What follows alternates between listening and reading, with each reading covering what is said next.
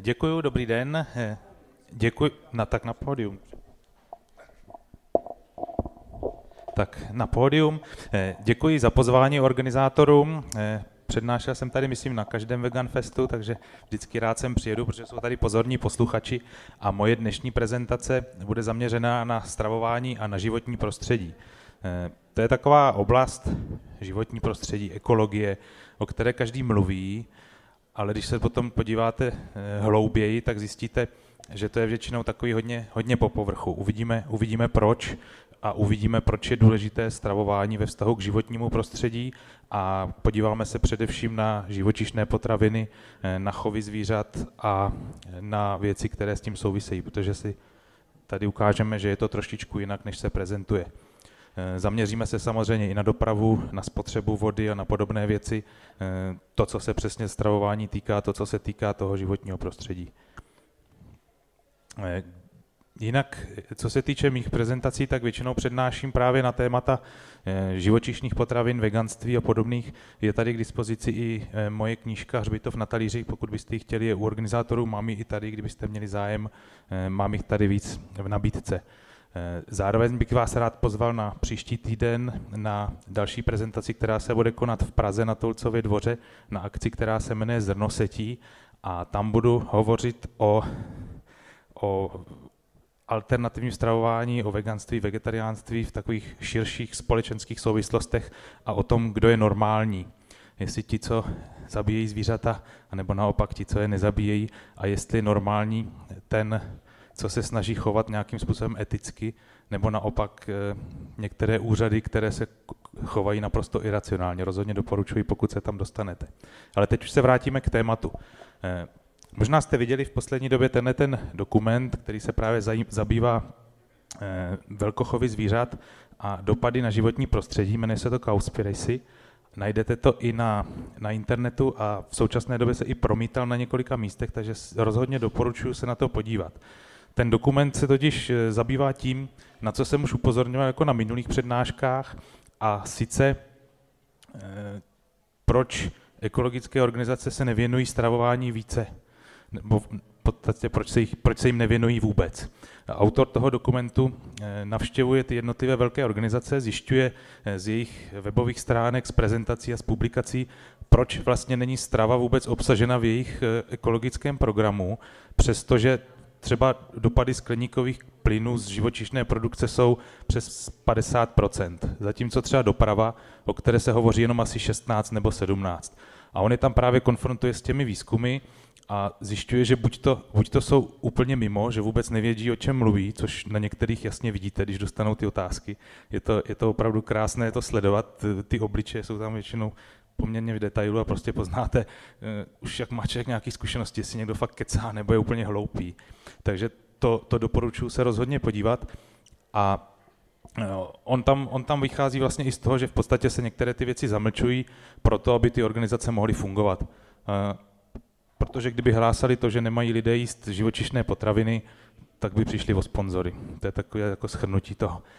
Každopádně je to zajímavé, protože oni, oni potom posunují to zaměření, které by měli mít, to znamená velkochovy, živočišná produkce, by mělo být, když ne třeba hlavním jejich zaměřením, ale má tam i organizace, které se věnují rybolovu a tam to také vůbec není řešeno tím, že by se ty ryby nejedly. Ne, jeste ty z těch lepších lovů, jo, což je nesmysl v tom moři, prostě jsou na volno, takže tam to jako velký rozdíl není. Takže místo toho, aby to zařadili aspoň do toho svého programu, tak to z toho v podstatě vyřadí úplně. Není to ani okrajová záležitost, není to ani hlavní záležitost, to se spíš týká organizací na ochranu zvířat a podobně, ale bohužel, bohužel to téma pro ty větší organizace to není. Je to, je to trošku vidět i u nás, neříkám u všech, ale u některých, u některých je to trošku znát. V delší, delší dobu trvalo, než to stravování se zařadilo jako mezi ty hlavnější témata. Docela to trvalo i v politice, myslím si, že do dneška to nějak jako výrazně, výrazně třeba u zelených není, nebo respektive nebylo to v době, kdy, kdy měli nějaký vliv politický. Teď se podíváme tady na tuhle tu publikaci. To je takový jenom drobný příklad takového lehkého posunu, posunu tématu. Mluvila tady nedávno Tereza Vandrovcová ze Soucitně A ta právě podrobila tuhle tu publikaci, která je jinak velice dobrá. Její české vydání podrobila kritice v tom smyslu, že posunuje význam toho, té původní knihy. Ta byla o tom, že, že by se nemělo maso tolik jíst, že by se mělo omezovat, zatímco to zaměření té české publikace je na to, že by se mělo jíst biomaso a maso z nějakých lepších chovů. Jo, ten posun se tam prostě udělal. Eh, je to vysvětlováno potom v takové, takové eh, replice eh, v sedmé generaci. Tereza o tom potom taky psala, že vlastně to bylo zaměřeno na místního čtenáře, na, jako na místní poměry a podobně. To je takové hezké vysvětlení, to si můžete vždycky tím odůvodnit. Eh, potravinářský giganty tímhle odůvodňují to, že tady dělají horší potraviny. Říkají tomu místní stravovací zvyklosti. Jo? Podstatě si takhle můžete upravit, jakou chcete knížku, tady to nebylo v takovém dopadu. Ale dovedu si celkem představit nějakou publikaci o lidských právech určenou pro islámský stát. Jo? Před odřezáním hlavy dezinfikujte nůž. Eh, budete se chovat lépe a eticky. Děti prznit až od devíti let, protože máme doloženo, že prorok konzumoval manželství se svojí šestiletou manželkou až v jejich devíti letech a podobně. Takže samozřejmě takováhle úprava jakého, jakéhokoliv textu by byla e, možná. Já jsem to tady jenom ukazoval jako příklad, příklad toho významového posunu, na který se právě zaměřoval autor toho předchozího dokumentu. Rozhodně doporučuji se na něj podívat. Tohle to taky. Tak, a teď se podíváme na to životní prostředí. Tady ta planetka vypadá poměrně malá. Eh, je to dost propojené dneska. Kdybyste si tam zakreslili transport letecký nebo lodní, tak by to bylo za chvíli celý počmáraný a bylo by to v podstatě jenom denní letecký nebo lodní provoz, ani ne týdenní. Všude by to lítalo sem tam, takže eh, budu mluvit i o té dopravě. Ale eh, koukneme se na konkrétnější věci. Tak, taková kontrolní otázka. Co je tohleto? Prosím? Čeho? A kde? Výborně, přesně tak. Není to fotbalové hřiště, není to příprava na nějaké mistrovství eh, ve fotbale, je to vykácený deštný prales a tohleto je pole se sojou. Tady ještě ten prales zůstal, za chvíli to bude posunuté celé. To ukazuje trošku to, o čem tady budu mluvit. Eh, nicméně, tohle to není z většiny soja, ze které bude tofu nebo sojové mlíko, který si koupíte ve zdraví výživě. Z tohohle bude krmivo pro hospodářský zvířata. A to je právě ten, právě ten problém, jak je, to, jak je to provázané a jak se to dá snadno zneužít. Protože pak někdo řekne, no vidíte, kvůli soje se tady kácí deštní pralesy. Ale už vám neřeknou, že to je z 80-90%, hlavně, hlavně teda na to krmivo, na ty, na ty velkochovy. Eh, tady mám takový přehled, eh, je to, je to už poměrně starší, ale novější jsem zatím neviděl. Eh, člověk by si snadno mohl myslet, že když se mluví o odlesňování deštných pralesů, takže je to hlavně kvůli těžbě dřeva. Že z toho budou nějaké jako palubní desky do drahých aut a zahradní nábytek někde v, v hobby marketu a podobně. Ale tady, když se podíváte, tak těžba dřeva jsou v podstatě jenom ty 2 až 3% což je teda šíleně málo proti tomu zbytku. Eh, tohle to je zemědělství, zemědělství ve velkém, to jsou ty velkoplantáže a podobné věci. Tohle je zemědělství v malém, to jsou menší farmy. Vidíte, že to tvoří mnohem víc než, než ty velké. Eh, tohle to další, mezi ty 1 až 2% tam spadají požáry, různá jiná těžba, urbanizace, výstavba silnic, přehrad a podobně. A tohle to všechno Další ten úbytek toho deštného pralesa, to je chov dobytka, 70%. Jo? A teď vidíte, že o čem se mluví a o čem se mluví v souvislostech třeba v těch médiích. Eh, když vám to ukážou, a já jsem si to dlouho taky myslel před lety, když ukazují o odlesňování dešných pralesů, tak to vypadá, jako že to vykácí. Buď to kvůli, ně, kvůli tomu, že tam chtějí něco postavit, nějakou přehradu, o tom se hodně mluví, nebo právě kvůli tomu, že se tam těží dřevo. Jenomže ono ani nejde o to dřevo, ono se to prostě vykácí kvůli tomu, aby se tam dal chovat dobytek, nebo se proto pěstovalo eh, krmivo. Jo, vidíte, ten poměr je prostě obrovský. Tohle úplně, úplně vypadá najednou jinak, než, než předtím. A, a takhle to vypadá teda v praxi. Těch fotek jako na, pár najdete, ale taky to úplně běžně v médiích není, že by vám to ukazovali. Eh, v supermarketu odkaď je krmivo, kterým byly krmeny ty kravky nebo prasata, že by to tam ukázali, že dneska se chlubí tím, že vám ukážou původ toho masa, že to bylo na té a té farmě zabité tam a tam, ale ty další věci už vám k tomu neukážou. Takže že kvůli tomu padla tady kousek lesa, tak tam není. Ty přehledy dopadů, třeba těžby nebo výstavby nebo těch umyslných požárů, to si snadno můžete najít v různých, v různých publikacích, které se věnují právě odlesňování dešních pralesů, ale i tak tam bývá poměrně okrajová záležitost toho zemědělství a toho chovu dobytka, které představuje naprostou, naprostou většinu toho. Je to, je to samozřejmě škoda, že se na to neupozorňuje, protože by, myslím, spotřebitelé možná měli vědět asi, jak je to ve skutečnosti. Tady mám takový příklad na, na to, jak je relativní to, odkud je e, tofu nebo soja dovezená. Lidi si řeknou, nebudu kupovat import, protože se to vozí dlouhý kilometry. Fajn. Takže když se podíváte a zkusíte si zjistit na tofu vyrobený v České republice, já to doporučuji zkusit zjistit, mně se to zatím nepodařilo. Ale vypadá to, že je z Kanady ta soja, anebo z Brazílie. Což samozřejmě může být i, i z té pěkné plantáže tam předtím. Ale zatím se mi to nepodařilo zjistit, protože mi to nikdo neodpověděl.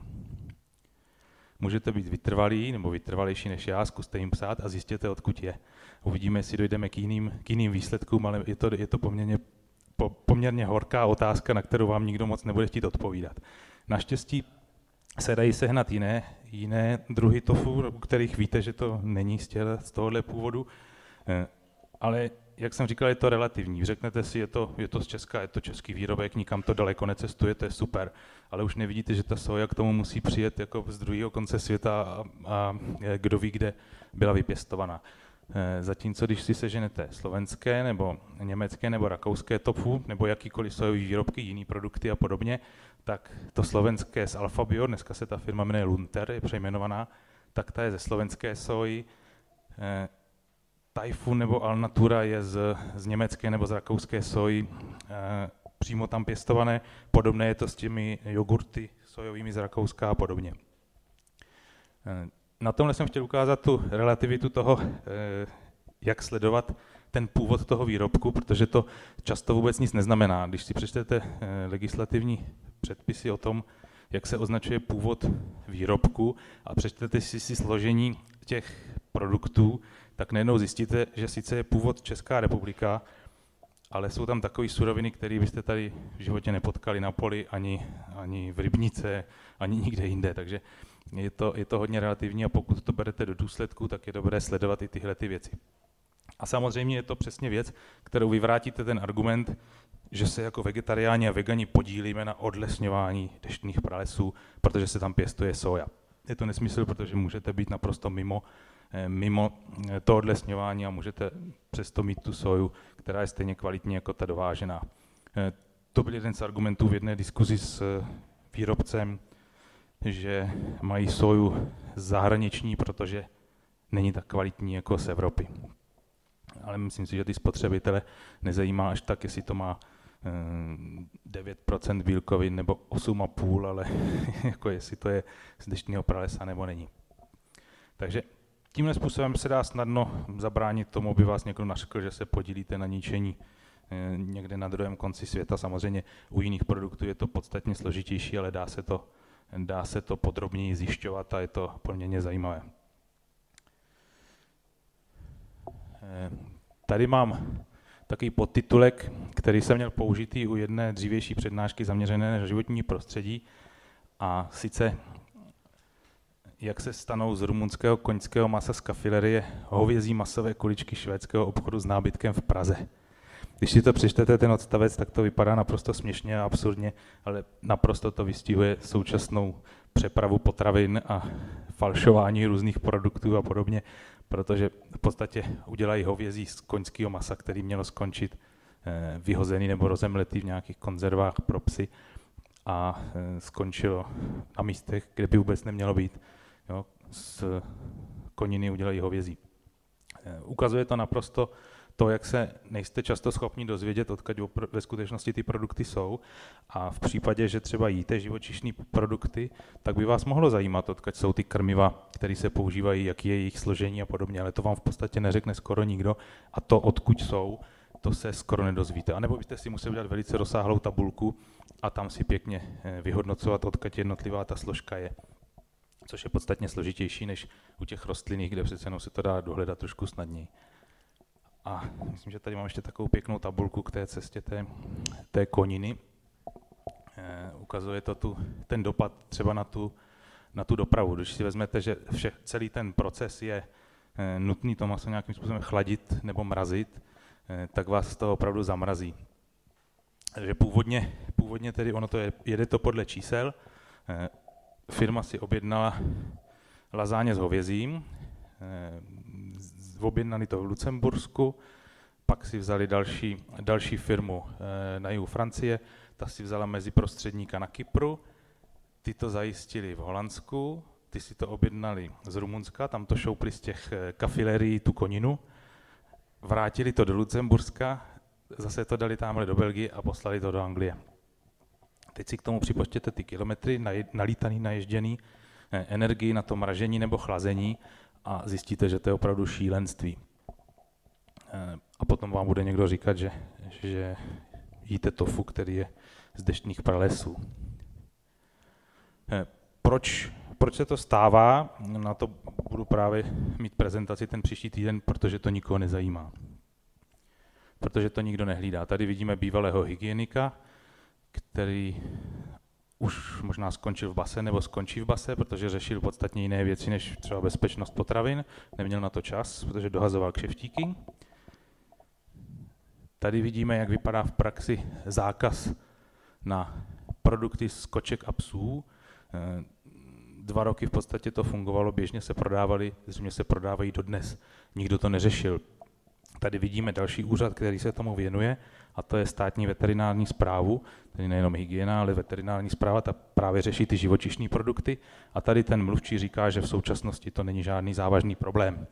Eh, ve stejné době, co to říkal, tak provedla Česká obchodní inspekce, což je jiná inspekce, než jsou oni, kontrolní nákupy v obchodech s kožešinami a zjistili, že asi ve 30% případů tam ty věci z koček a z psů prodávali ale podle něj to žádný problém nebyl. No, nemá na to čas, proč by se tím zabýval takovou drobností, proč by někdo dodržoval nějaký předpisy, že jo, když to pak chtějí pro vás.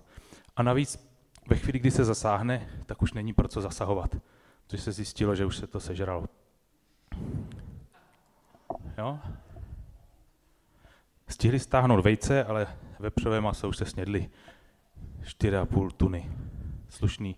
Bylo dobrý, pak budou běhat po doktorech, budou se divit, jako proč najednou mají ty zdravotní problémy. No a nikdo to nehlídá, no to není tak, že by se na vstupu něco extra kontrolovalo, to, to si musí někdo jako myslet a být blázen.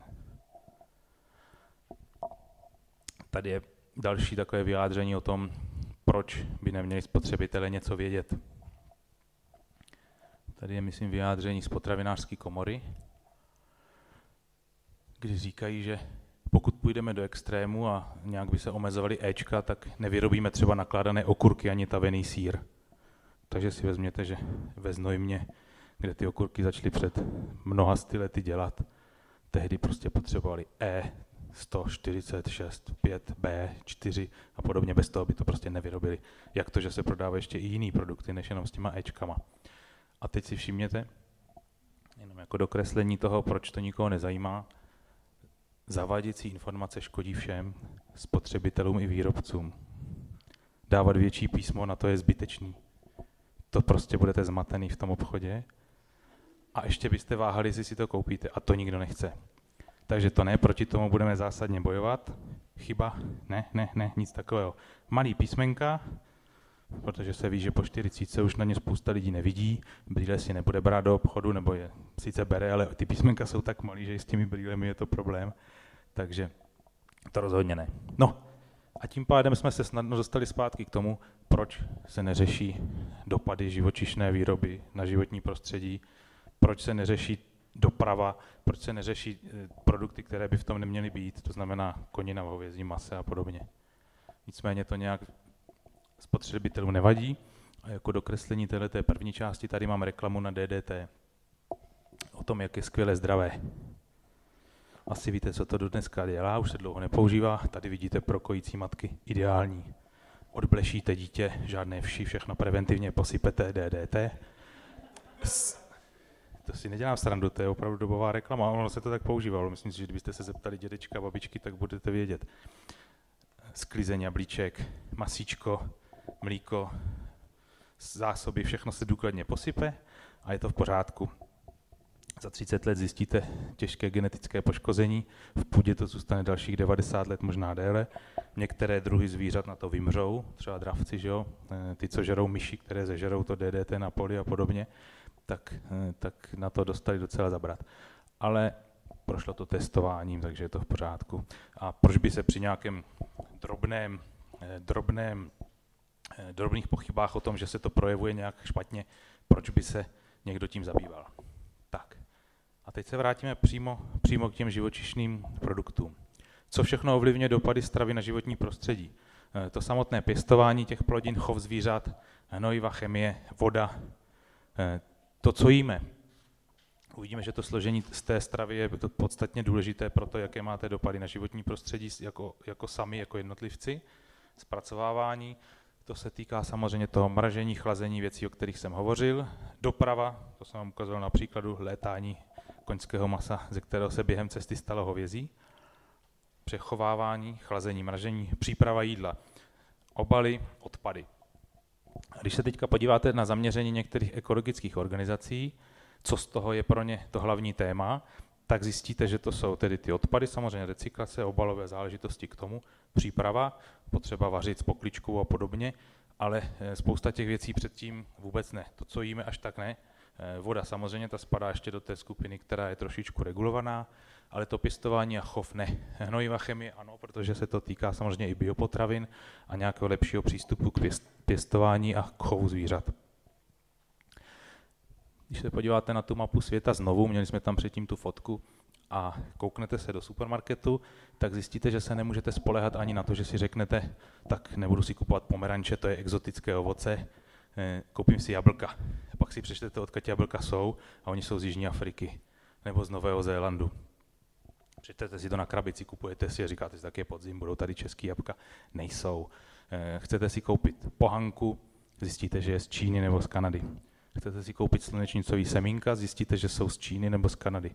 A pak se trošku divíte a najednou zjistíte, že to, co, to, co tam je v nabídce, eh, přestože většinou tam mají české produkty, nakupujte hezky česky a podobně, tak když se potom kouknete na ty obaly, eh, jaká je opravdu skutečná země původu, i u těch věcí, které jsou takzvaně eh, z ekologického zemědělství, což, což na biopotraviny, když si přečtete, tak tam opravdu je Eh, značné procento z dovozu, přestože jsou to věci, které by tady mohly být.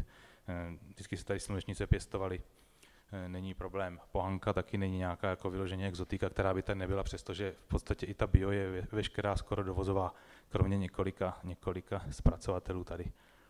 Takže i v tomhle důsledku, když se chcete tomu trošičku vyhnout a začnete se do toho dívat, tak zjistíte, že to je podstatně složitější a že i úplně obyčejný běžný nákup, který uděláte u věcí, které byste považovali za, za místní produkty, jo, to je, to je hezký přístup, tak ale zjistíte, že to je v podstatě taková cesta kolem světa během jedné, jedné účtenky a jednoho nákupního košíku. To je samozřejmě trošku chyba, ale je to zase jenom o těch spotřebitelích, do jaké míry jsou informovaní a do jaké míry budou kupovat opravdu místní produkty a uh, jestli budou trošičku aktivnější vůči těm dodavatelům, to znamená, jak třeba v oblasti těch biopotravin, kde toho dovozu je opravdu příliš, tak v, v oblasti běžných plodin. Tady je takový přehled eh, té takzvané ekologické stopy. To je to, jakým způsobem ovlivňujete, eh, většinou se to počítá na skleníkové plyny. Eh, pokud si dáte vyhledávat ekologickou stopu nebo, nebo dopady toho stravování, tak tady takový celkový přehled jednotlivce, který, který by mohl být zjistíte, že podle toho barevného odlišení, tak doprava, o které se poměrně hodně mluví, to tvoří asi z 20%, bydlení 25%, to je vytápění, eh, uhlí, elektřina, záležitosti kolem toho, voda a podobně. Spotřební zboží, to je další, další věc, která je jako kritizovaná, že se pořád nakupuje a podobně. ale trošku se zapomíná na tuhle tu složku, což je přesně to stravování. Mám to potom eh, na jednotlivé, jednotlivé položky u potravin a koukneme se, koukneme se na to, jak to vypadá u těch jednotlivých plodin, jestli teda eh, je lepší, je lepší soja nebo je lepší pšenice, případně u produktů z živočišného původu. A koukneme se tady na další věc. Tahle ta pěkná fotka, co vypadá z výšky jako takové rybníčky, tak eh, to nejsou rybníčky, ale jsou to skleníky ve Španělsku v oblasti Almeria a takhle to vypadá ze satelitu v roce 74, kdy tam ještě byla normální oblast a příroda a z roku 2000, kdy tam jsou v podstatě jenom ty skleníky. Tohle to je potom to, jak to vypadá na místě. To jsou obrovské haly e, s, s uzavřeným systémem a takhle to vypadá vevnitř. Tyhle ty fotky najdete u těch producentů těch plodin, u těch rajčát a, a okurek a lilků a podobně, ale najdete to u výrobců těchto těch substrátů, což prosím, to je, to je čedičová vlna, takový ten rokovůl, co se používá na izolaci střech. A do toho se dají ty semínka, vedou k tomu ty hadičky, tam jde voda, hnojivá chemie a z toho rostou tyhle ty pěkné věci. Tady jsou takové kolejničky, aby se pak dalo projíždět a sklízet to. A je to, je to opravdu ten rok vůli, to v podstatě ceřiná společnost toho, toho výrobce těch izolací na střechy. Jo, to je takový ty, ne skelný vlákna, ale čedičový vlákna, takový to jako nepříjemný, co si máte brát jako respirátor s lepším filtrem a rukavice a celo, celotělový ochranný oblek, když děláte zateplení střechy. Tak. A v tom se pěstuje ta zelenina a ty čerství rajčátka v těchto těch pěkných skleníkách. Jo, vypadá to jako sci-fi, ale v supermarketu vám to na obrázku neukážou, takže většinou jsou z toho lidi strašně překvapení. A protože mi nevěří, pochopitelně to je dobře podrobovat jako vlastnímu bádání a pak si to zjišťují na internetu a šokovaně hledí na webové stránky výrobců těchto těch kostiček, do kterých se pak vedou ty hadičky s tou chemií a zjišťují, jak moc je to rozšířené, jak je to dobrý biznis.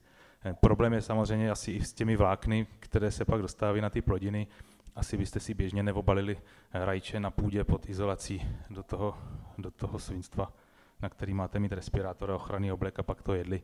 Takže možná, že v tom obchodě pak narazíte i na takový ty dlouhý vlákínka, který asi nebudou zrovna, zrovna skvělý na jídlo. Jo, vypadá to jak někde v nějakém sci-fi filmu. Možná, možná je to ještě pokročilejší než sci-fi film, protože tohle to by asi až tak někoho nenapadlo, že by to mohlo být jinde než na průzkumné kolonii na měsíci nebo na Marsu, ale že to je prostě běžný skleník třeba v Holandsku nebo v tom Španělsku. Takže vidíte, že se to týká nejenom tedy eh, prapodivného chovu zvířat, ale že se to týká i rostlinné produkce běžné a že spotřebitelé to už ani nevědí, ani to nechtějí vědět, neřeší to, nikoho to nezajímá a když se na to takhle podívají, tak jsou poměrně překvapení. Doporučuji stránky, stránky výrobců těchto těch zařízení pro pěstování. Tak, a teď se dostáváme k další oblasti, jakým způsobem jsou přeměňované pole, na kterých by mohlo místo některých plodin růst třeba něco k jídlu. Důvod samozřejmě, proč ty skleníky jsou tam, že je to velice efektivní. Oni ten skleník zavřou, foukne se tam nějaký plyn, takže tam nejsou žádné mšice ani breberky, nadspe se to tou chemií do těch kostiček té vaty a roste to. Kdybyste dali na pole, tak máte třeba mnohem větší ztráty, protože rajčata by vám trošku vohnívaly, museli byste tam něco dělat, šli by na to třeba brouci nebo ptáci a podobně. Takže v podstatě běžné plodiny, pšenice, eh, potravinářská, myslím na opravdu potravinářskou výrobu, eh, brambory, některé plodiny, hm, když jste naposledy viděli na polích zelí třeba, nebo některé listové zeleniny a podobně, když jedete, většinou to vypadá tímhle způsobem. Kolik jste za poslední měsíc snědli produktů z řepky. Asi moc ne, možná, možná nějaký olej, jinak jako toho příliš není. To samé většinou platí o kukuřici. To je tak jako dvě plodiny, které se tam teďka asi v největším střídají. Eh, je to proto, že z řepky se dělá biodiesel a z kukuřice se dělá ten takzvaný biolí. Ono to není bio, ale takhle se to poprzněně tomu říká. A dělá se to proto, že jsou na to skvělé dotace a že se to dá dobře prodat.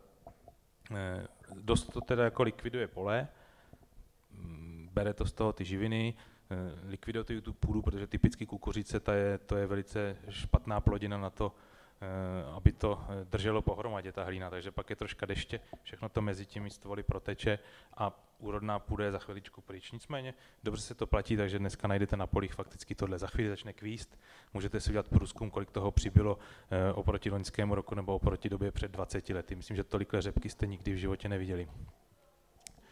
Eh, proč se to dělá, si najdete samozřejmě snadno, není až takový problém si to zjistit. Přes 50% trhu z biopalivy. Jo? Ta kombinace s tím ministrem financí je úplně ideální. Je to naprosto skvělý. A ještě tady píšou, že teda jako konkurenti jsou podezřeli často navštěvování daňovou policií. Takže si myslím, že to je naprosto, naprosto geniální záležitost. Eh, vůbec, vůbec se tomu nedivím u přístupu takových lidí. Vždycky si člověk představí pana Bence ze Springfieldu, jak přemýšlí o tom, co skvělého udělal, jak si namastí kapsu. Tohle to je potom věc v praxi. Ještě se k tomu jednou dostaneme, k tomu nepánovi. Tady jsou negativní důsledky těch takzvaných biopaliv. Spotřeba vody, eh, likvidace půdy, eroze, eh, jestli to má opravdu nějaký ekologický úspory a podobně. Když si to před, najdete to taky běžně, když si to pak přečtete, zjistíte, že, že to je spíš dosti negativní záležitost, protože nejde jenom o řepku a o kukuřici, ale jde i o jiné plodiny, o cukrovou řepu, palmový olej v některých zemích, který samozřejmě potom díky těm, díky těm prachům jde do Evropy, tam se z toho zase dělají jiné věci a je to, je to dost jako nepříjemná záležitost. Teoreticky to byl asi dobrý nápad, že by se to dalo takhle využít, že se z řepky udělá eh, nafta, ale ve skutečnosti to takhle nefunguje. Každopádně je to věc, která byla jednu dobu velice propagovaná, je to povinně v benzínu a v naftě, takže vám to ničí motory. To je takový negativní důsledek pro ty, co jezdí autem a ukazuje se, že se asi od toho bude trošičku ustupovat. Jenomže zatím si myslím, že se od toho ustupovat nebude, protože už je to obsazený eh, biznisem, který si to pohlídá, aby se od toho neustupovalo a aby to na těch polích zůstalo. Proč tam dávat jiný plodiny? Je to trošku taková věc, jako když se propagovaly ekologickými organizacemi ty takzvané úsporné zářivky. No, místo 60 W si tam dáte 20 W rtuťovou výbojku jo, což je dost jako šílený. Normálně zářivku jste mohli hodit do koše, nic se s tím nestalo. Na rtuťovou výbojku už musíte mít jako speciální kontejner, když vám doma praskne, tak to, to tam máte. E, to je takové, e, takové postupy, kdy, kdy se sice zvolí dobrý cíl, ale hodně špatnými prostředky a nějak to nikomu v tu chvíli nevadí, nebo možná vadí, ale e, neřeší se to, protože to je dobrý biznis, takže to jede, jede, pak se zjistí, že to je špatný, trošku jako to DDT taky to perfektně fungovalo, jako dlouhou dobu, než se zjistilo na ty negativní věci. S těma zářivkama je to skoro stejný.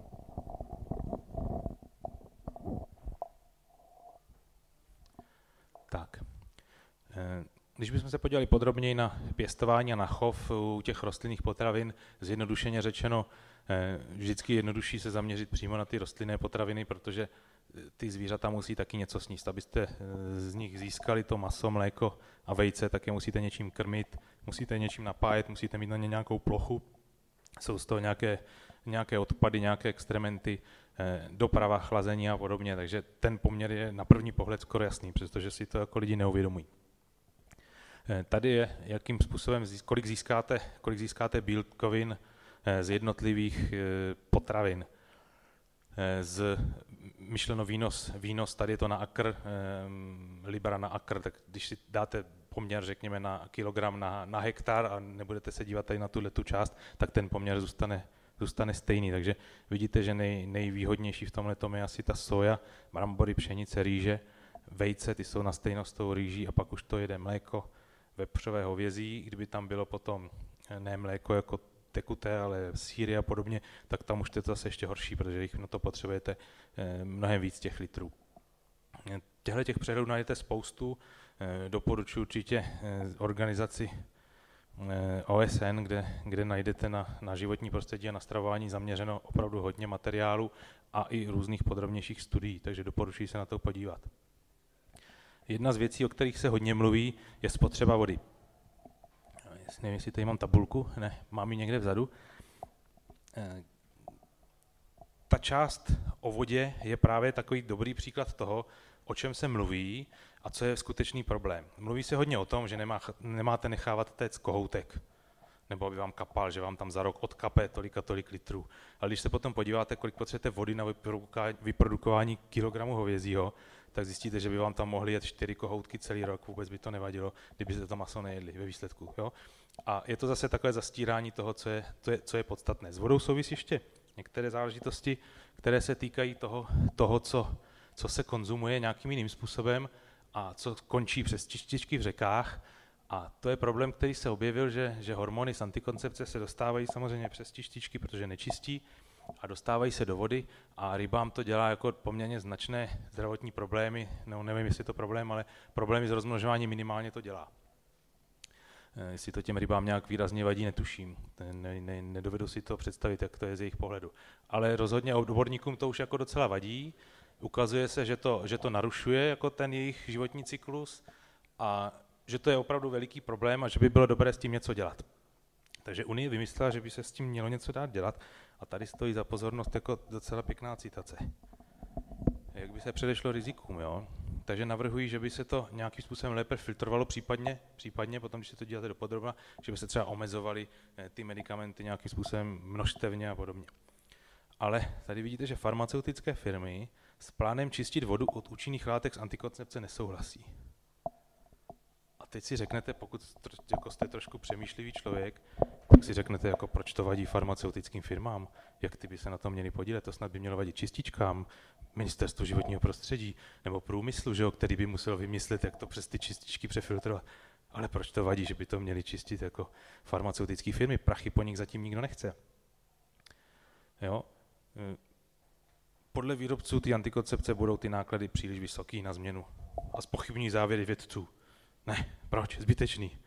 Jo, to je takový přesně, přesně e, zmínka v článku, která by měla vést k tomu, že se máte nad tím výrazně zamyslet a říkat si, proč to takhle je? Proč by výrobce antikoncepce protestoval proti tomu, že se dostává do vody a lidi to vypijou a nějakým způsobem to je schopný ovlivňovat hormonální cyklus lidí? Proč by jim to mělo vadit, když po nich nikdo nechce peníze, že jo? No to je jednoduchý ty samé firmy, co dělají tu antikoncepci, tak vyrábějí i medicamenty, které jsou na podporu té plodnosti. Že jo? Všechny ty injekce, které ty ženský zoufalí bez dětí musí absolvovat a který do nich potom píchají, tak asi se to možná hodí. Že, jo? že je to docela lepší, protože se to zužitkuje dvakrát. Prodají se, prodají se dvě věci. Nejdřív vám to pustí do vody a pak vám řeknou, jo, dobrý, pojišťovna část hradí, část si připlatíte, no ale co byste kvůli tomu děťátku neudělali, že jo? To prostě není problém Tady mám takový další, další článek. Jeden politik eh, ovládl přes 40% trhu eh, s, v sektoru umělého oplodnění. Víc už nemůže, protože už by jako potom šel antimonopolní úřad, to už by bylo jako moc, moc zjevný. Takže zase si představíte toho, toho pana Bence ve Springfieldu, jak se raduje a říká si, hele, to je dobrý nápad. My jim budeme dodávat potraviny, máme pod palcem chemický průmysl, to je super, ty potraviny třeba nebudou úplně tak skvělé, jak by mohly být. Nebudeme hlídat některé ty chemické věci v tom, konec konců jsme chemický průmysl, takže to pro nás není tak důležitý. Ono to bude mít nějaký zdravotní vliv a my si potom na tom ještě namastíme kapsu jednou. jo, funguje to perfektně. Takže když se pak kouknete eh, ve výsledku, eh, jste vlastně trošku ve spárech pár lidí, pár skupin, které vám dodají všechno, od potravy až po léčiva, který budete potřebovat. No a tady potom je takový pěkný přehled. Našel jsem to na, na britskou spotřebu, ale předpokládám, že ten poměr bude zhruba stejný u e, evropských zemí. Je to, je to v podstatě e, celková e, ne spotřeba vody, ale vliv vody na tu, na tu ekologickou stopu. Takže když se podíváte, tak tady to nejmenší, to je spotřeba v domácnosti. Tohle to větší, to je průmyslové využití, to je takové ty papírny, čistírny, všechny ty věci, kde samozřejmě toho množství je potřeba spousta. A tohle to celé je oblast produktu zemědělství. Když si zase zpětně vybavíte, eh, co vám kdo říká o eh, životním prostředí a o vodě, tak si asi vzpomenete, že vám říkají, nekoupejte se ve vaně, ale dejte si rychlou sprchu, je to lepší, máte lepší vliv. Nenechávejte ty kohoutky pořádně týct, dejte si úsporný sprchový hlavice, dejte si úsporný kohoutek do kuchyně a podobně. Takže když to se vám podaří jako celoročně o 10% snížit, tak se dostanete jako, jako celá populace lehce pod 3% a místo 3,2. To je super, že jo? ale už vám nikdo neřekne, hele, jako hovězí, chov zvířat, eh, živočišný průmysl, to ne, to, proč bychom o tom mluvili, to, to, je, to, je, to je, to ne, tam kdyby se to snížilo o 10%, to je úplně zbytečný, to nemá smysl. A ještě by ty lidi, když bychom jim řekli, že mají spotřebu živočišných potravin snižovat, to by se jim nelíbilo, to ne, to by neprošlo. To by nás příště nezvolili, eh, to by nám neposílali příspěvky a podobně.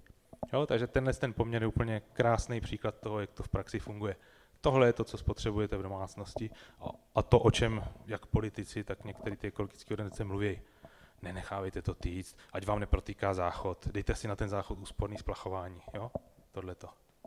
Ale že ty krávy a prasata nemají úsporný splachování, ani zpracování jejich produktů není úsporný, to už, to už se vám tam jako k tomu nepřidá. Takže tohle si zapamatujte, zkuste to třeba najít na, na evropský země jednotlivý. A ještě zajímavá věc, viděl jsem pěknou tabulku o e, potřebě vody e, v Evropě, v jednotlivých zemích. Česko na tom není, není nějak špatně, je to naopak dobrý. E, docela jako varující je spotřeba vody v zemích, kde by s tím měli mít problémy. Španělsko, Portugalsko a podobně, tam je jako výrazně vyšší. Tady se dostáváme zase k té vodě, kolik je potřeba litrů na produkci kilogramu různých potravin litrů vody na, na jedno kilo. Vidíte brambory, pšenici, eh, vojtěžka, sorghum, kukuřice, rýže, sojové boby a te, pak už jsou tam kuřata a je tam hovězí. Porovnejte si to hovězí s těma, s těma dalšími věcmi. Tam to, tam to narůstá do, do strašně velkých čísel. A tady mám takovou pěknou, až komik, komiksovou tabulku. A tady se můžeme podívat, jaký vliv teda má, když budete mít eh, splachování jako úspornější a jak když máte eh, horší splachování, nebo když budete mít neúspornou baterii nebo vodu. Je to tady vlastně rozkreslené do, do dne, do celkové spotřeby, kterou můžete během toho dne mít. Tady vidíte kávu, čaj, ty tečky to jsou vždycky, vždycky nějaké jednotky té vody spotřebované. Tohle je nepřímo spotřebovaná voda, ta zelená barva, a tohle je přímo, to, co přímo vidíte, že někde teče. Jo? U té kávy, u toho pěstování nebo u toho hovězího to nevidíte přímo. Tady si to můžete porovnat pěkně jablka, pomeranče, vidíte, že ty jabka na tom jsou poměrně hůř často. Eh, a už jsme tady u podstatně větších těch. Jo? Hamburger, šup a už jsme úplně někde jinde. Eh, hovězí, vidíte, tady se to ani do tabulky nevejde. Eh, jo, to tam vytejká všude dál. Jo, tady vidíte, to je přesně ten přehled. Jo, vana, špatné, moc vody, moc vody, jo, neúsporná pračka a podobně. Takže si pak řeknete, dobrý, tak jo, když se na to rozumný člověk podívá, tak si řekne, fajn, to je jednoduchý. Chci uspořit trošku vody, pomoct životnímu prostředí, hm, hm, hm. živočišní produkty, to vychází nějak blbě. S tím by se mohl něco udělat. Když to celý vyškrtnu, tak se to dostane do podstatně jiných čísel. Ale praxe je pak taková, že vám některé ty organizace řeknou, ne, ne, musíte se málo sprchovat, málo splachovat, vana je špatná, to je zlý, tady to je lepší se jenom sprchovat, vidíte ten výsledek, jako to není takový rozdíl, a večer si dejte biohovězí, to je dobrý. Uvidíme potom u ekologické stopy, že biohovězí vychází hůř než hovězí z konvenčního chovu. Vysvětlím proč. Delší, delší trošku růst toho zvířete, trošku jiné podmínky, vychází to hůř. Jo, ale ty, ty organizace nebo ty politické strany vám říkají, jo, spořte vodou, ušetříte si peníze, eh, říkají vám to furt u všeho, u energií, u plynu, u vody a ty už ty furt narůstají, protože se to dožene jako jinýma, jinýma položkama v tom, takže ve skutečnosti nikdo extra neušetří a ty skutečné dopady jsou trošičku jiný. Jo? Takže tohle, tohle to vidíte, že je podstatně jako jiná záležitost, než to, že by vám protýkal záchod. Asi si nikdo neřekne, dobrý, jsem vegetarián nebo vegan, tohle to celý za ten den ušetřím, tak když jdu do práce, tak to tady nechám všechno týt. Dobrý, v pohodě. To se nic nestane, to je úplně v klidu. Jo, to si nikdo neřekne, protože vy jste si řekli, že je to debil.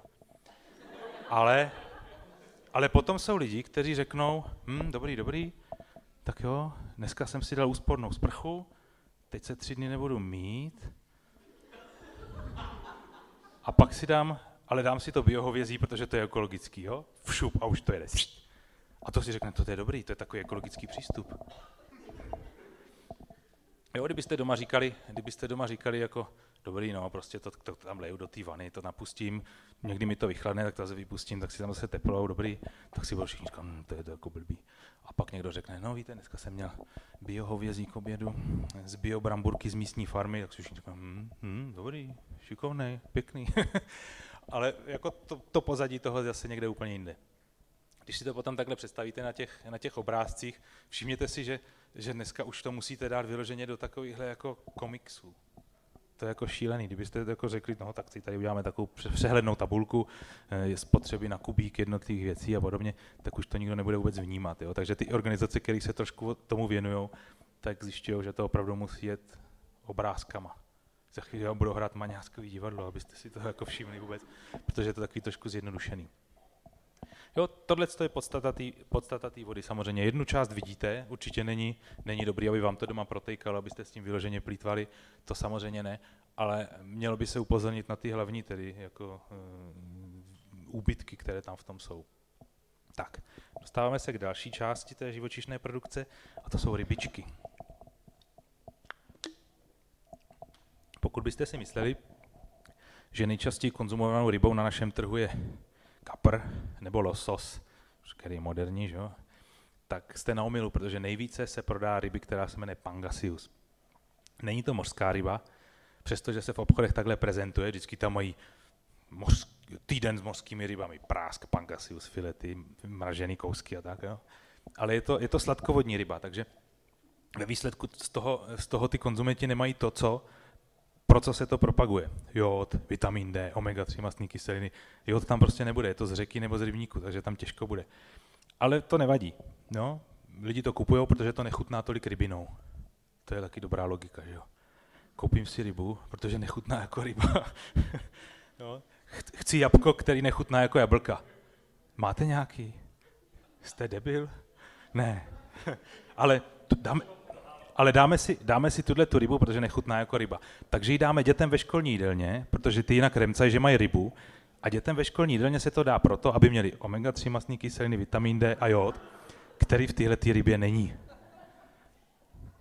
A pak si říkáte, jako jestli, jestli jste normální vy nebo jako ty lidi okolo, protože to je přece tak jednoduché, si každý může zjistit, že to není mořská ryba, ale oni to fakt nevědí. Takže dětičkám ve škole dají tuhle tu rybičku, která se sem vozí z Ázie, tam se pěstuje v obrovských farmách, v takovémhle bahňáčku třeba, tam se sype nějaký krmivo s nějakým asi chemií, aby, to, aby ty ryby nechcíply všechny, protože jich je tam hodně. Eh, neřeší se tam příliš jako samozřejmě nějaký pracovně právní záležitosti, to asi není tak jako standard běžný jako tady. Neřeší se tam životní prostředí, neřeší se tam to, jak se to chová. No a samozřejmě, když je to z takové dálky, tak se to musí zmrazit nejlíp, jo? takže jsou to mražené kousky. Takže zase ty energetické vstupy jsou tam obrovský. Ale přesto to tvoří většinu rybího trhu v Česku. Ryba, která nechutná jako mořská ryba, ani jako ryba, protože proč by něco takového jako, jako rybu měli lidi jíst, když chtějí jod, vitamin D a omega-3 mastní kyseliny. No takže tam nemají, dětičkám ve školním lídelně dělají pangasia a je to takováhle záležitost zvláštní. Eh, tady je ukázka toho, jak vypadá současný rybolov, protože ty ryby si myslím, že ještě, ještě jsou okrajovější záležitostí než eh, ty velkochovy. Jo, když dneska někde jedete, tak vidíte nějaký kraví, nějaký prasečák, většinou se tam můžete jít podívat, protože to není zamčený, není to, není to nějak jako vyloženě omezený, nebo tam vidíte oknama a řeknete si, hm, ty jsou fakt jako na tom špatně. Občas se dá nějaká reportáž o tom, jak to vypadá na jatkách, jak se to zpracovává, máte to před očima. Ale tohle je věc, která není vidět. Jo? To moře je prostě takhle modrý do dálky a vy už nevíte, co z toho všechno kde vytahali a co už tam není, co tam chybí. Takže vidíte, že už se na tom přemýšlí jako v oblasti politiky, což je co říct, protože přece nebudeme omezovat rybolov, eh, když je to dobrá ekonomická eh, oblast Evropské unie. Že? Hádají se kvůli tomu a tak, takže ne. Takže už vidíte, že se to začíná řešit. Tady je takový pěkný přehled eh, s tabulkou o zásobách atlantské tresky, že se v podstatě celou dobu lovili skoro stejné množství, jo? až tam někdy do roku 1950, když se to dělalo běžnýma metodama, normální sítě, relativně normální lodě. A pak najednou šup, začal tenhle ten obrovský skok, objevily se ty tažné sítě, takový ty obrovský dlouhý, co fakt vedou třeba několik kilometrů za tu loď, stáhne se to od jedna, vytáhne se to nahoru a na ty obrovské lodi se to rovnou celý zpracuje. Tam se z toho vytřídí ty ryby a vidíte najednou, co to udělal, jo? Šup, obrovský výlov, perfektní, a pak najednou práska, už to jede dolů, protože už není co lovit. Jo, je, má, ta ryba má nějaký taky cyklus životní, musí nějakou dobu dospět, aby mohla mít další ryby, ono to není tak jenom, že to z toho vytáhnete. A vidíte, během, během pár desetiletí tam v podstatě není co dělat. A teď je to omezený ten rybolov a není možný s tím nic dělat.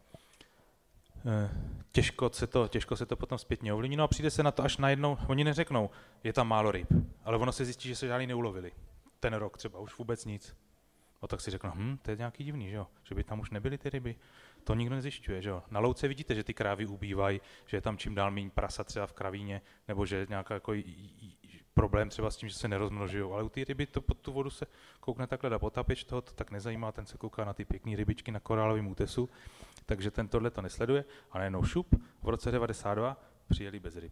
No, celá obrovská loď, tak vytáhli něco jiného, že oni samozřejmě uloví kde co, na té lodi se to přímo zpracovává, vytřídí se to, rovnou se tam zpracují i ty jako lepší kousky na ty horší kousky, eh, ze zbytku se vylisuje rybí tuk, ten se prodá lidem v tabletkách, to vám pak zavolají telefonem, máme pro vás skvělou nabídku, dostanete skvělé omega-3 kyseliny, pomůže to vaší paměti a, a zlepší to vůbec celkově životní styl, stav života a podobně. Takže to je rybí olej, jo, ze z těch zbytků, z těch ryb. A ze zbytků, z výroby, z těch zbytků na ten rybí olej, tak tam zase z toho se dělají ty krabí tyčinky a tyhle ty záležitosti. To je ten největší side který z toho zbyde. Tam se přidá glutamát, barviva příchutě lidi si to potom koupí jako krabí tyčinku. Ono se to jmenuje surimi, přímo tenhle ten produkt. Přečtěte si to v té mojí knížce, takže kdybyste chtěli nakupovat a ukázat někomu, eh, co vlastně kupuje, nepředpokládám, že by tady bylo příliš mnoho lidí, kteří tohle kupují, tak rozhodně doporučuji, aby se na to podívali. Eh, tady je takový pěkný přehled na intenzitu toho rybolovu, eh, od té nejnižší, to jsou ty úplně modré vody, po ty nejvyšší. Všimněte si, jakých se to týká oblastí a jak, jak silný je tam to barevný zabarvení. oni to nejsou jenom rybolovy těchto z těch zemí, které jsou přímo u toho. No, ty se pohybují v těch eh, vodách poměrně volně, ty rybářské lodi, takže není problém si to obět někde, všecko to vylovit a jet zpátky. Ale vidíte, že už je to docela jako varující. Samozřejmě to varující na té úrovni e, politický, protože se zjišťuje, že by se mělo trošku víc hlídat, jaký ryby se tam dělají. No a to je právě i ta pointa třeba toho dokumentu, který jsem zmiňoval na začátku, že místo, aby ty ochranářské organizace nebo ty ekologické organizace řekly, ne, ryby nejste, proč, zabijíte je, není to úplně jako pěkný vůči ním, Eh, mizí zásoby a podobně, ne, tak řeknou, ne, berte ty z těch certifikovaných lodí. Co to znamená? Vy se tam budete podívat, jak to tam v praxi vypadá, jako kolik toho vytáhnou, kolik chytí delfínů a žraloků a rybářů a, a potápěčů, ne, to nikoho nezajímá. Tak, pak tady další oblast, krevetky. To vypadá jako, že to vyloví někde v čistém moři, že jo, je to taková luxusní potravina. Teď si to vždycky do časopisu napíšou, um, luxusní krabí salát eh, nebo krevetový koktejl a podobně, recepty s krevetami velké, královské krevety a tak. A pak se kouknete, odkud je to původem, tak vidíte, že to je z těch farem, není to taky z moře. Koukněte se, jak to vypadá z výšky, samozřejmě ta, ta degradace toho životního prostředí je tam patrná, samozřejmě i na první pohled, nejenom, že víte ty rozbory.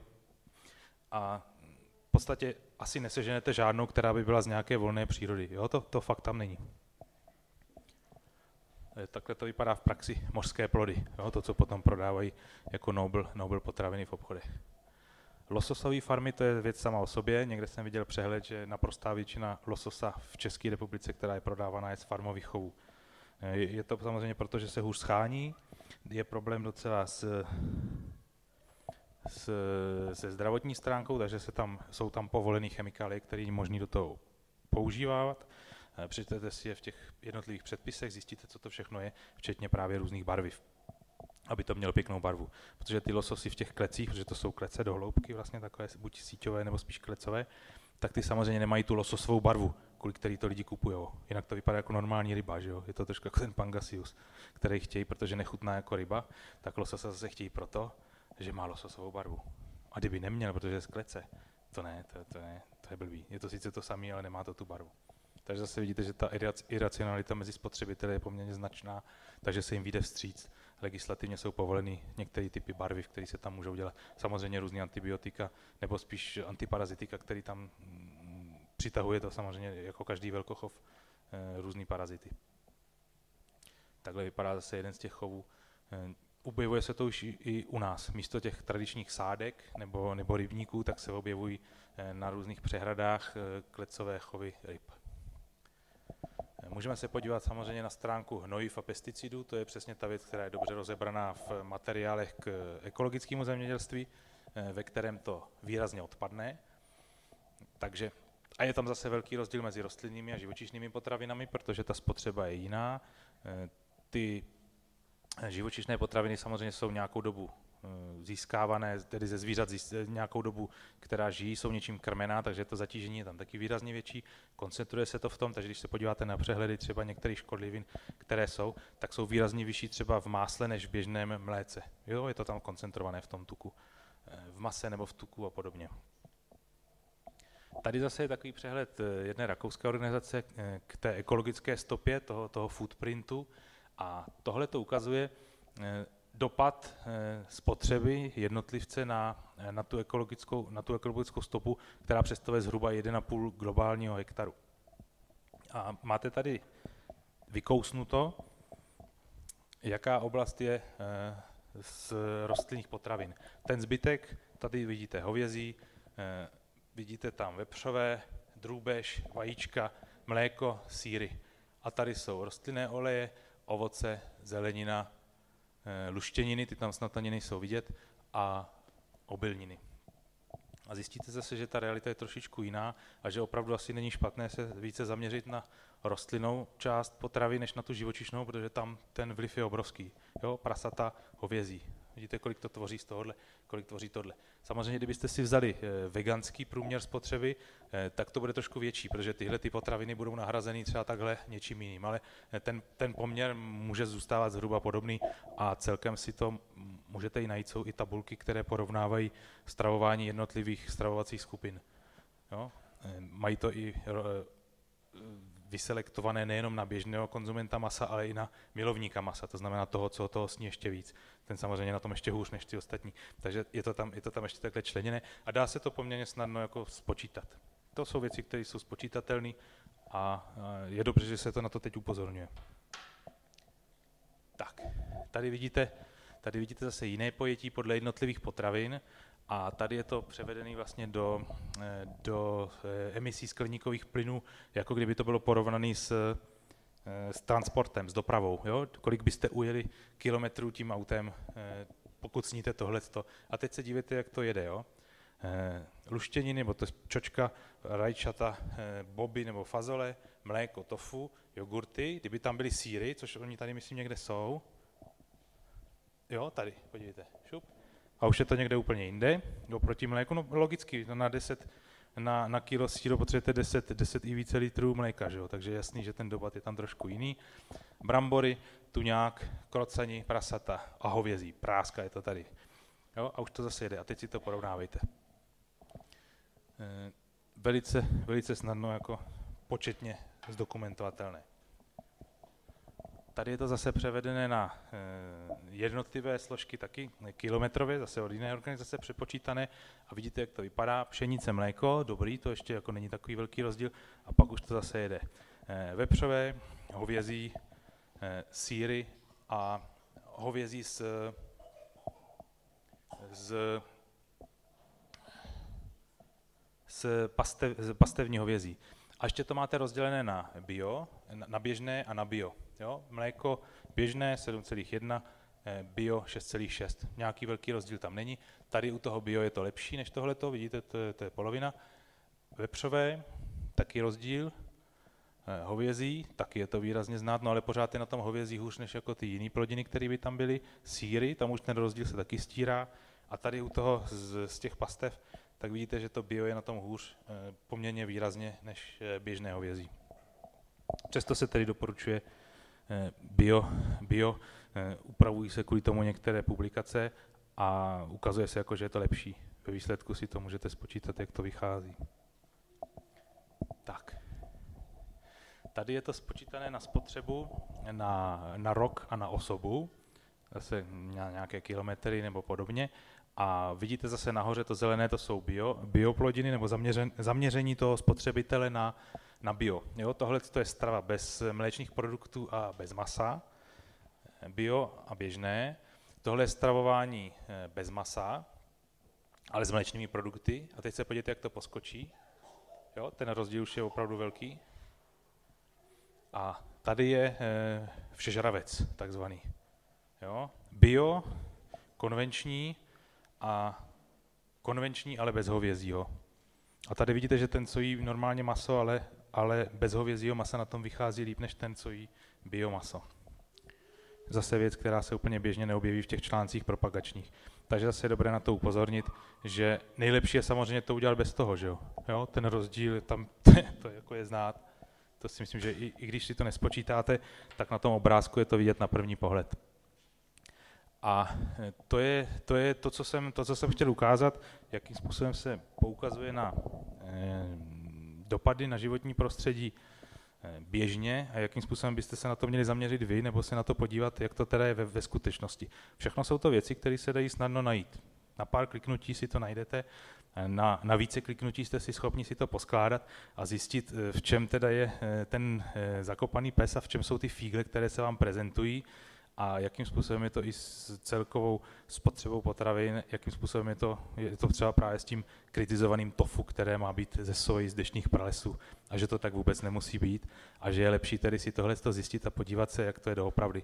Je to samozřejmě pro nás výhodné tyhle ty věci vidět právě kvůli tomu, že jste schopni potom lépe argumentovat. Že vás nikdo nedostane v nějaké diskuzi, kde se řekne, no, ale kdyby všichni začali, začali být vegetariáni nebo vegani, teď by tady nebylo místo na pěstování té zeleniny, že jo? jo? Oni mají tu představu, nejíte maso, tak začnete jíst tuny rajčata, mrkve a všeho.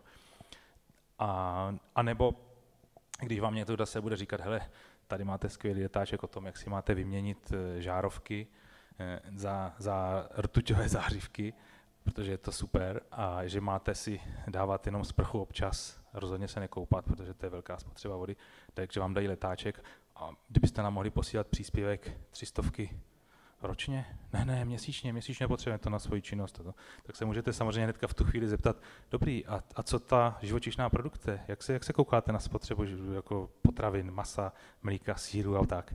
Jo, a už budete zase vědět, jakým způsobem se těchto těch lidí ptát a co, co teda zkusit a jakým způsobem si je otestovat, jak to teda vidí. A myslím si, že je to důležité i pro vegetariány a vegany v tom smyslu, aby se na ty organizace, které tohleto propagují, zaměřili v tom, že budou tedy upozorňovat na to, že, že je lepší se taky věnovat i jiným oblastem, aby to nebylo tak, že eh, tomuhle tomu se věnují jenom eh, organizace na ochranu zvířat, nebo vegetariáni a vegani, ale aby se tohle objevovalo i v publikacích těch ekologických organizací. Ono se tam objevuje, ale rozhodně to není až tak masová záležitost, kdybychom to řekli takhle. A takže rozhodně je dobré si o tom něco zjišťovat a nezůstat tedy jenom u, u schematických obrázků, jako jsem vám ukázal tam s těmi spotřebami vody, ale abyste věděli trošku víc a abyste si třeba taky i sami udělali takový přehled toho, eh, jaké dopady třeba jednotlivec má a co je možné změnit nějak jako praktičtěji. Jo, aby to nezůstalo u toho, eh, jezděte na kole, sprchujte se místo koupání a dejte si úsporné žárovky, ale aby to zůstalo u té většiny, která to tvoří, aby se řeklo tak. A živočišní potraviny to jsou asi ten hlavní problém, ty ostatní věci samozřejmě dobrý. Neplýtvat energiemi, e, trošičku jako přemýšlet nad těmi věcmi, ale, ale nevynechávat tuhle tu záležitost. To si myslím, že je škoda. A pokud se nebudete sami tomu věnovat, abyste na to upozorňovali, tak to nikdo až tak sám dělat nebude. Jak jsme viděli, ty politický představitelé mají trošičku jinou práci. E, pokud zrovna nesedí v base jako ten bývalý hygienik, tak eh, se věnují samozřejmě svýmu biznisu, což je, což je podstatný problém jako i pro to životní prostředí, asi do, do velké míry. Takže na tohle jsem chtěl upozornit a doufám, že vám to udělalo nějaký trošku průběžnější obrázek toho, eh, jak to funguje a na co se máte příště ptát a jak to dělat. Takže vám děkuji za pozornost.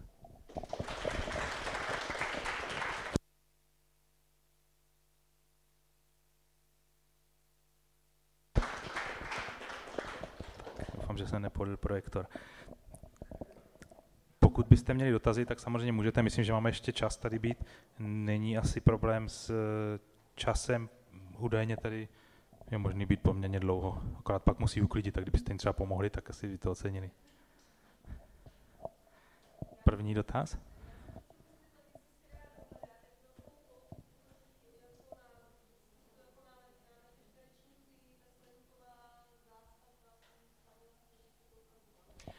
Jestli se dá dohledat, jak velkou plochu na metry čtvereční tvoří ta skleníková zástava v tom Španělsku. Eh, já si myslím, že by to určitě asi nebyl problém si to dohledat a myslím si, že pokud si to na mapě změříte, tak nějaký rámcový obraz dostanete, protože ono to tam bylo vidět fakt jako výrazně. jo, v té oblasti. Ale myslím si, že to najdete. Eh, ono to není jenom, není to jenom Španělsko, je to, je to samozřejmě v těch jiných zemích, ale tam to je do, do naprostého extrému, kdy ta krajina vypadá úplně šíleně. Tadyhle. Jo, tady spíš v tomhle tomu. A tam ještě se někdo hlásil další? Tamhle vzadu?